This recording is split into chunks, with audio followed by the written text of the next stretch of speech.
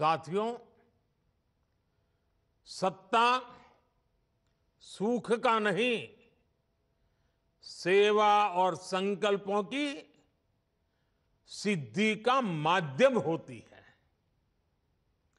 वेंकैया जी ने यह तब भी साबित किया जब उन्हें अटल बिहारी वाजपेयी जी की सरकार में शामिल होने का मौका मिला।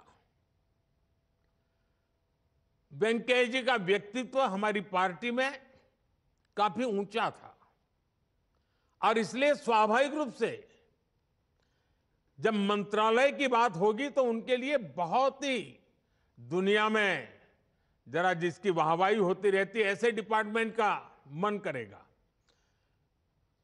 वेंकैया जी जानते थे कि शायद मुझे ऐसा ही कोई मंत्रालय मिल जाएगा।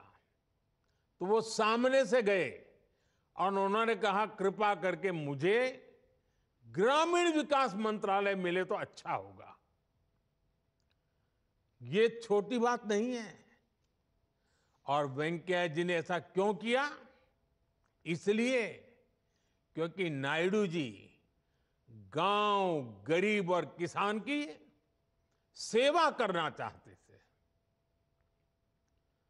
और ये विशेषता देखिए, शायद भारत में वो ऐसे मंत्री रहे जिन्होंने अटल जी के समय ग्रामीण विकास का काम किया।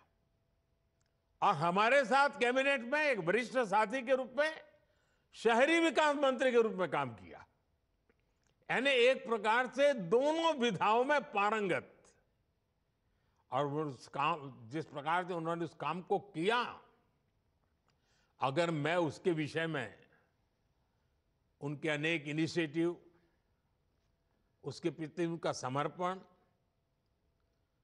भारत के आधुनिक शहरों की उनकी कल्पना।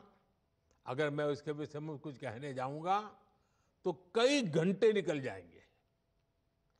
वेंकैया जी के कार्यकाल में स्वच्छ Bharat mission smart city mission और अमृत योजना जैसे अनेक अभियान शुरू हुए